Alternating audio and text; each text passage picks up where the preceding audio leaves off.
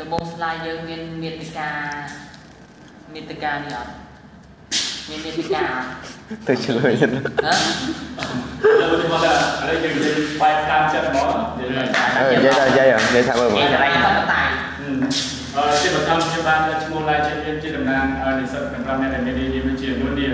គុំមកលេលោកយុទ្ធពន្ធលោកសានចន្ទនសូមគោរពដល់លោកសាស្ត្រាចារ្យជាគណៈកម្មការវិតម្លៃនិងគណៈវិសាស្ត្រទី1 គឺលោកទឹកសុជាទី2លោកគ្រូសាស្ត្រាចារ្យផលកសលទី3លោកគ្រូសុនីទី4អឺលេខាបត្រាឈ្មោះឡាយលីហៀងអឺ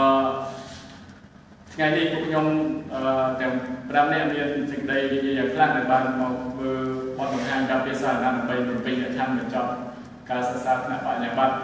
ជំនាញឯកទេសមហាវិទ្យាល័យគ្រប់គ្រងមហាវិទ្យាល័យសេដ្ឋកិច្ចពាណិជ្ជកម្មទេសចរ ក្រមទី4ឆ្នាំទី4ក្រមធានបតនៃមនហ្នឹងហើយក្រោមធានបត់ក្រមធានបតការរៀនតម្លៃការអនុវត្តការងារនិងការលើកទឹកចិត្តរបស់ស្ថានភាពប្រេងកោដែលមានលោកគ្រូកាសាស្ត្រាចារ្យដឹកនាំគឺលោកគ្រូកែវចត្រាហើយចឹងល្អហ្នឹងត្រានឹងនិយាយតាមចិត្តហ្នឹងហើយធ្វើចឹងល្អជាងខ្ញុំថាធ្វើចឹងល្អហើយណាមួយវានិយាយតាមចិត្តតែអត់ចែកការការមានទៅតទៀតតទៀតតែតែយ៉ា ដូចឥឡូវនេះខ្ញុំបានអឺឲ្យលោកចូលកាន់ស្លាយចុះចុះចុះហ្នឹងហើយតែតែយ៉ាឥឡូវនេះខ្ញុំឥឡូវសូសូមមសូមធ្វើការធ្វើបទបង្ហាញពីស្ដីការទី1នៅបញ្ហាដែលគាត់ហៅថាទុនធានមនុស្សគឺជាទុនធានដ៏សំខាន់ដែលអង្គភាពគួរតែមានគោលនយោបាយក្នុងការថែរក្សាការជ្រើសរើសការវិតម្លៃនិងការវិចារក្នុងនោះការវិតម្លៃគឺមានសារៈសំខាន់អឺអាចឲ្យអង្គភាពដឹងពីទំហំនៃការលះបង់កម្លាំងកាយកម្លាំងពលកម្ម របស់បុគ្គលិកម្នាក់ៗទៅតាមកម្រិតរបស់ពួកគេវាល្អជាងបន្ទាប់មកការលើកទឹកចិត្តគឺជារឿងសំខាន់បន្ទាប់ពីយើងដឹងពីលទ្ធផលនៃការវិតម្លៃទៅតាមកម្រិតមួយមួយដែលអង្គភាពវិតម្លៃបុគ្គលិកចុងមកអឺដំណងបញ្ហាហើយដូច្នេះហើយគឺយើងសូមលើកយកប្រធានបទការវិនិច្ឆ័យការបន្តការងារនិងការវិនិច្ឆ័យរបស់ស្ថាប័នអង្គរែក៏មកធ្វើការស្រាវជ្រាវចុះចាំនេះមក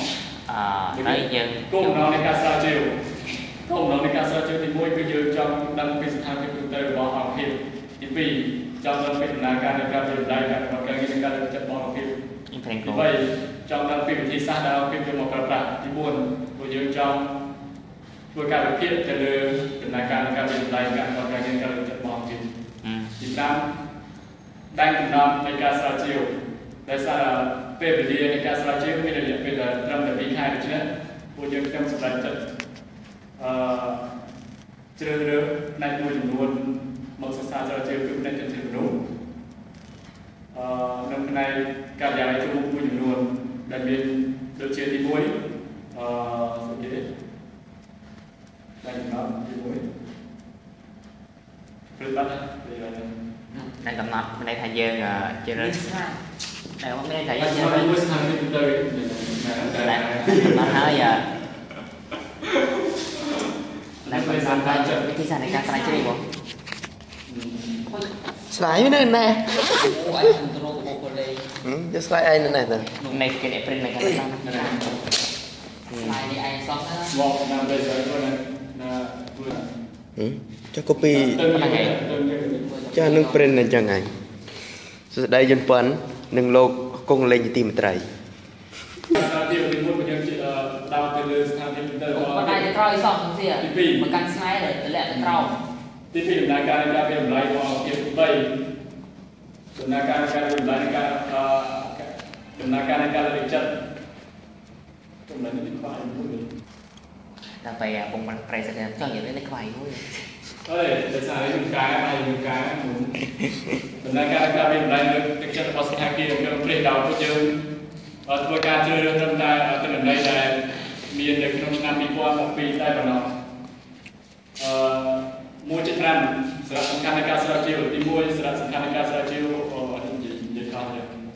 1.5សារៈសំខាន់នៃការស្រាវជ្រាវក្នុងនោះសារៈសំខាន់នៃការស្រាវជ្រាវរបស់ពួកយើងដែលបានមានការវិភាគពីលទ្ធផលនៃការស្រាវជ្រាវមានសារៈសំខាន់ចំនួន3ធំៗទី1សារៈសំខាន់ចំពោះអង្គភាពទី2សារៈសំខាន់ចំពោះពួកយើងខ្ញុំទី3សារៈសំខាន់ចំពោះនិស្សិតចំណងក្រៅសាធារណជនសារៈសំខាន់ចំពោះអង្គភាពទៀតផ្ដល់យោបល់ ឬក៏មតិយោបល់មួយចំនួនដើម្បីឲ្យអង្គភាពធ្វើការកែប្រែនៅប្រព័ន្ធខ្លួនរបស់ខ្លួនទី2ដើម្បីឲ្យភាពកែប្រែទៅសាស្ត្ររបស់ខ្លួនអឺទីពីរទៀតទៅនឹងសារៈសំខាន់របស់យើងខ្ញុំបញ្ជាក់ពីគុណភាពរបស់យើងខ្ញុំប៉ុណ្ណឹង